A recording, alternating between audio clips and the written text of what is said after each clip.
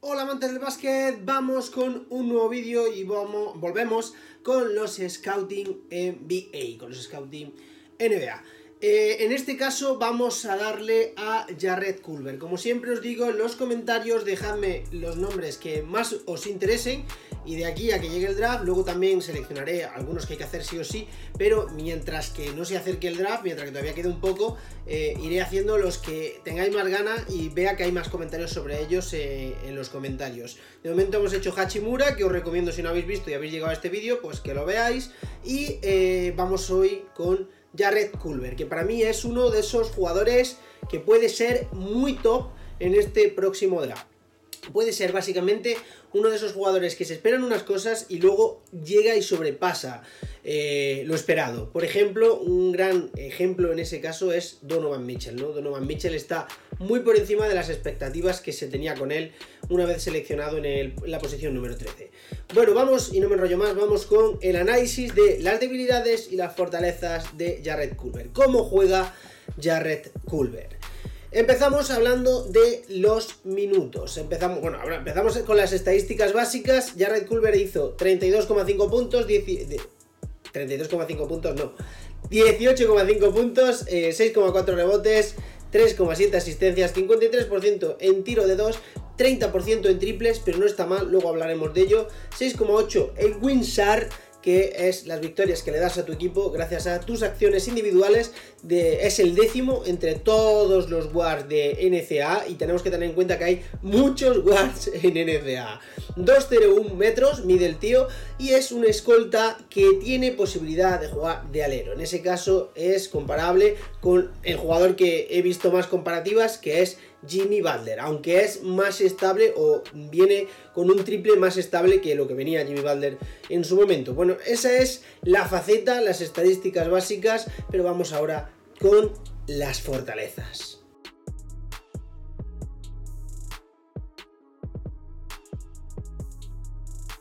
Y empezamos, como casi siempre, hablando del tema físico. Privilegiado absolutamente este jugador. Es en tamaño y envergadura brutal. Eh, mide 2.01 como ya he anticipado. Su envergadura es tremenda.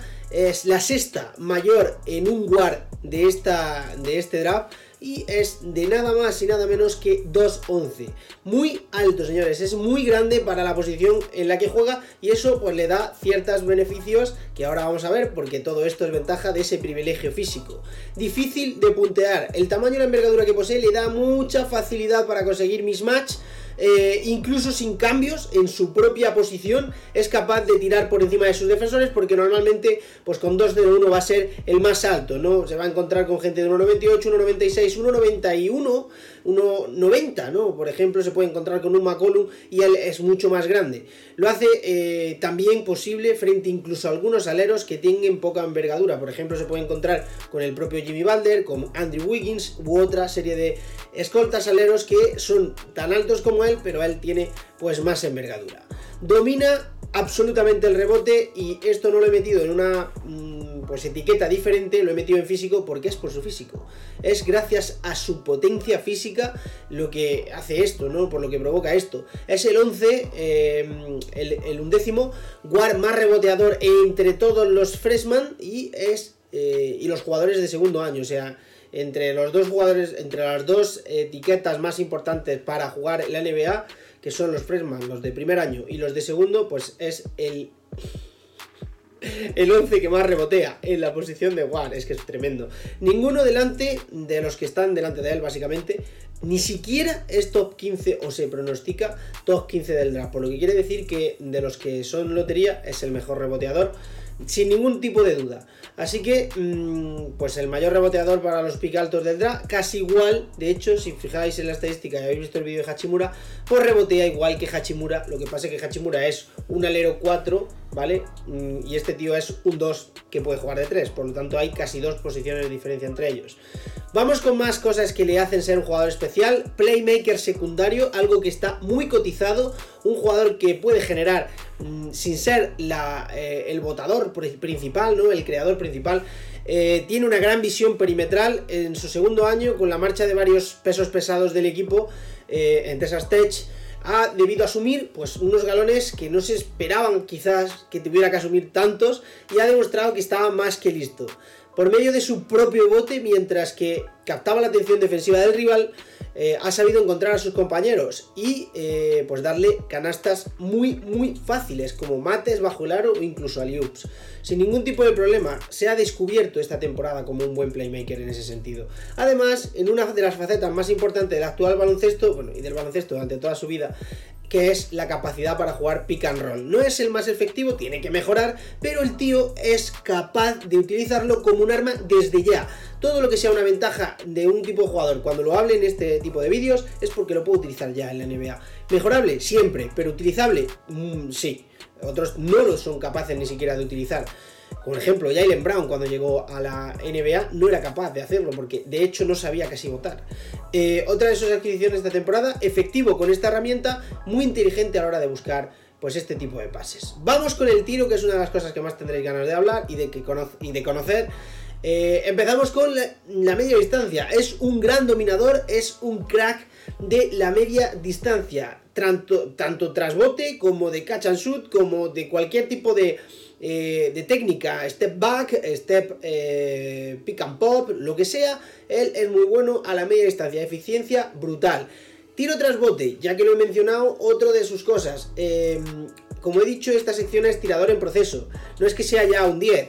Es un tío que todavía tiene que mejorar el tiro, de hecho es lo que más tiene que mejorar, pero son cosas que ya tiene incorporadas en su juego y que son valorables, ¿no? Como ese tiro tras bote. No es todo lo eficiente que debería ser, pero lo puede utilizar, que es más decir que otros que no pueden ni siquiera, ¿no? Por ejemplo, Hunter, que está pronosticado por donde él más o menos, pues un jugador que tengo muchas dudas de que sea capaz de generar tiro tras bote en la NBA.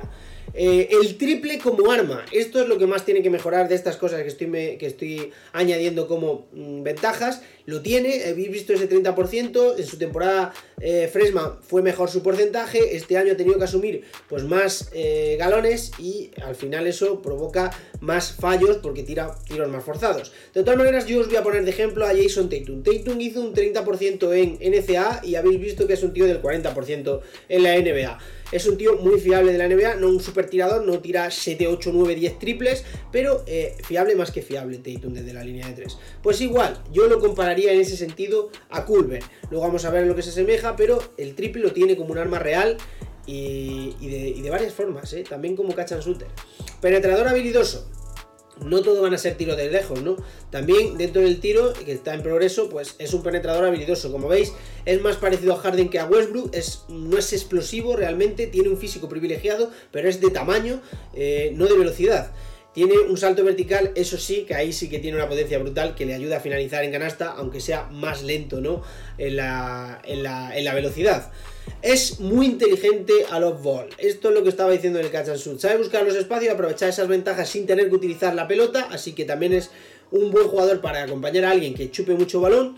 Eh, va camino de ser un gran catch and shooter. Todavía no lo consideraría en esa Mm, línea tan de catch and shoot, ¿no? Directamente la NBA, pero es utilizable. A lo mejor luego nos sorprende y como Tatum llega directamente y sí que es utilizable como catch and shooter, como el jugador de los Boston Celtics. De momento, el lanzamiento eh, marca, eh, el lanzamiento es, este tipo de lanzamiento es también utilizable para él en la NBA y, al final, pues es, es, es un arma que es muy importante actualmente en la NBA. Eh, vamos con otra faceta que yo es la que más resaltaría de Culver porque en todos lados vais a hablar, vais a escuchar hablar mucho de su físico, de su tiro, de sus posibilidades ofensivas, pero para mí lo mejor que tiene es que es un defensor de élite. Para mí es que va a llegar a la NBA y va a ser capaz de defender a muchos, muchos jugadores por físico, por velocidad, por tamaño, por cambios, en todo. Es para mí un gran two-way player, más que un 3D. Recordemos, 3D es un buen jugador que defiende y tira de 3, este tío es un two-way player que es que quiere decir que tiene ofensiva, capacidad de anotar tras bote, propios tiros creados, buscar al compañero, un two player más completo y este tío lo es. No es el mejor 3D, eso sí es verdad, hay mejores que él porque hay mejores tiradores de 3, como por ejemplo yo diría Hunter o incluso Keldon Johnson que está cayendo tan abajo, pero su capacidad ofensiva va mucho más que estos. Hace muchas más cosas y al final eh, pues para mí era resaltable como una virtud que como veis pues ejecuta perfectamente en los partidos. Agresivo, intimidando y taponando. Eh, no, es que sea un super taponador, ¿no? pero tapona. Es un escolta taponador. Es un escolta de estos como Wade, como Jordan o como Kobe menos, pero también podríamos meter a Kobe. Es ese tipo de jugador y eso eh, pues es un valor también, ¿no? Que el escolta intimide, pues es, es brutal. Manos rápidas. No es tampoco un super mega ladrón, como por ejemplo Marcus Smart, pero sabe eh, moverse muy bien aquí y buscar líneas de pase y cortar muchos balones. Más que en uno contra uno real, ¿no? Él aguanta eh, bien, ahora después veremos por qué, pero eh, lo que más corta es balones a la hora de cortar un pase un tipo, ese tipo de balones, ¿no? Para luego encima aprovecharse de la transición que también lo sabe utilizar bien. El movimiento lateral potente, esa es la última virtud defensiva que quería dar y que va ligada con lo de las manos rápidas. Él muchas veces aguanta el uno contra uno sin ningún tipo de problema a cualquier jugador. Lateralmente es muy rápido. No es un jugador que ya digo en sprint sea súper rápido, no es súper explosivo en ese sentido, pero mm, es muy rápido en el movimiento lateral, que es una habilidad diferente, ¿no? Por ejemplo, podemos hablar de Kawhi Leonard. Kawhi Leonard en sprint no es un super mega jugador, ¿no? Anteto, por ejemplo, es mucho mejor en eso, o el propio LeBron. Pero, es, pero, pero sin embargo, el movimiento lateral de Kawhi Leonard es más rápido que el de Anteto, que el de LeBron y que el de la madre que lo parió. Pues en este caso, eso sería Jared Culver, que para mí puede ser muy top este tío, ¿eh? Muy, muy top. Hype con Jared Culver desde ya. A mí me ha convencido en el Madness que os convenza a vosotros también, porque yo pensaba que ni de coña era tan bueno. Y es muy bueno. Vamos con las debilidades.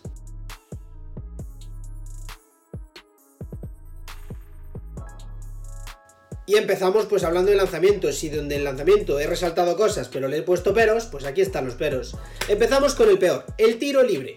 Tiene que mejorarlo. Porcentajes lamentables, eh, falla muchos en momentos claves y no puede ser así un escolta. Un escolta tiene que ser muy efectivo desde ahí. Problemas como RJ Barber. Los dos escoltas mejores de esta camada para mí con el mismo problema, el tiro libre. Inconsistencia en el triple. Como he dicho, es un arma que tiene, pero también puede tener un partido de 1 de 10. O sea, no habría ningún problema en verlo así, porque no es su mejor arma. Es un arma que utiliza, pero no que esté maximizada, ¿no? Que no que esté a tope. Mala selección de tiro. Para mí este es su peor. Su peor fallo es este. Su peor debilidad es esta mala selección de tiro. Es un tío que fuerza mucho. Es verdad que este año lo hemos visto en una faceta diferente, ¿no? De esa de liderazgo absoluto. Pero eh, fuerza demasiado y eso provoca que tenga unos porcentajes mucho más malos. Y de ahí también su 30% en triples.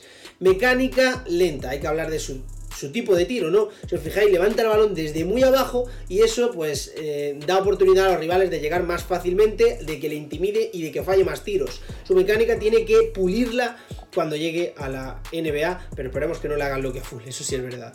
Vamos con más debilidades, cuidado del balón. Fuerza demasiado las acciones, como digo, en la mala selección va ligada también con esto, fue al forzar demasiado, pierde balones de forma muy inocente, algo que no se va a permitir en la NBA porque en cuanto pierdas un balón así es una transición y un mate en la cara, básicamente, y eso es importante. Bote mejorable, ligado también a forzar demasiadas acciones, a veces sobreestima su propio bote, no es un mal botador, pero es mejorable también su bote y eh, es a veces el culpable de que eh, pues fuerce demasiadas acciones en las cuales no está cualificado y pierda balones. Y por último, su edad y proyección. Puede ser mucho mejor de lo que ya estamos viendo a Jared Culver, o Jared Culver es un tío que va a llegar al NBA y va a ser un poquito más bajo que, por ejemplo, Harrison Barnes, un tío de 16, 17 puntos y efectividad justita, eh, un, eh, un Hardaway, algo así, o puede ser más. Yo confío en que pueda ser más, pero su edad y su proyección para la mayoría de los scouting, para, para la mayoría de la gente, no es tan alta. Entonces, hay que verlo, esto lo puede solucionar, sin duda. De hecho, todas las debilidades las puede solucionar y todas las eh, fortalezas las puede mejorar, porque siempre se puede ser mejor. Poco más que deciros, este es el análisis y el scouting de cómo juega eh, Jared Culver. Espero que os haya gustado, eh, dejad esos likes ahí a tope porque esta sección, como siempre os digo, es muy complicada de hacer, tiene mucho curro y pues espero que os haya gustado y nos vemos en el siguiente. Hasta luego.